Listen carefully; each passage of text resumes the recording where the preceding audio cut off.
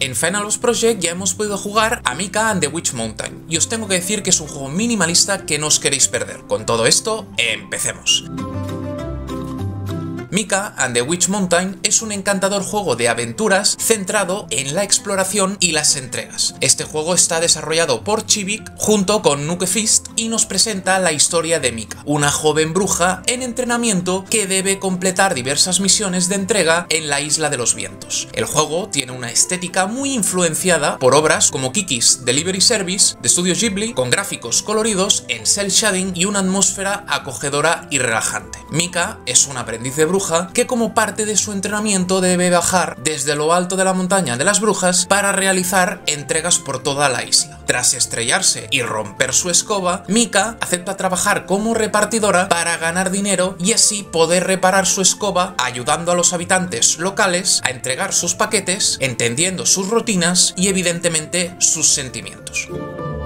El juego se desarrolla en la Isla de los Vientos, un mundo pintoresco y lleno de personajes excéntricos. A medida que Mika completa sus entregas, va conociendo a los habitantes, muchos de los cuales provienen de otros juegos del universo de Chivik, como Summer y Mara y Ancora Los Days. Decir que el juego se desarrolla en varios días y tienes que entregar varios paquetes cada día. Además de todo eso, mientras entregamos los paquetes, que nos tenemos que organizar bien, en tanto que podemos llevar hasta tres paquetes con la escoba, siempre y cuando vigilando que no se nos rompan o se nos mojen, vamos conociendo la historia de todos los personajes de la isla y vamos estableciendo vínculos con los mismos. A nivel de exploración, los jugadores pueden explorar libremente la isla con la ayuda de la escoba de Mika. Aunque su vuelo está limitado inicialmente y se va mejorando conforme avanza el juego, la mecánica central del juego es realizar entregas, que tienen ciertos desafíos como evitar que los paquetes se mojen o se dañen durante el transporte. Como os digo, las mecánicas claves de Mika son las entregas, en tanto que tienes que recoger y entregar paquetes, lo que implica que tu escoba la tengas que dominar bien, lo bueno es que conforme pasen los días ya tendrás un acelerón, ir un poquito por encima del suelo y eso te va a facilitar las cosas. Eso sí, como golpees los paquetes vas a tener que volver a empezar.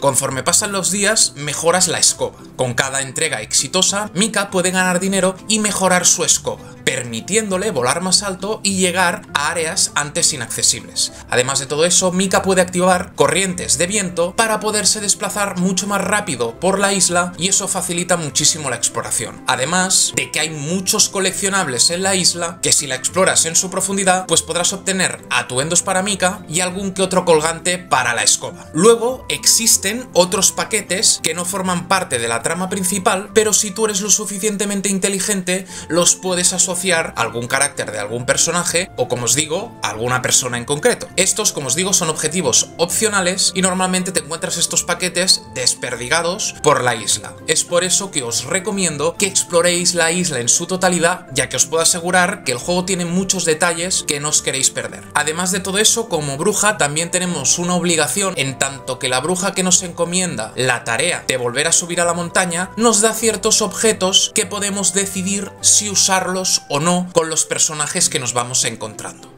Esta decisión es crucial y va a ser especialmente emotiva al final de la historia cuando se desvela su giro final. Por tanto, os recomiendo que exploréis el juego siempre pensando en el amor y evidentemente en ser empáticos y compartir vuestras emociones con los personajes de la isla. A nivel gráfico estamos ante un juego que destaca por un estilo cel shading similar al The Legend of Zelda de Wind Waker, con colores brillantes y un mundo detallado. La influencia de Studio Ghibli es clara, tanto en el diseño de personajes como en el mundo mundo que exploran los jugadores.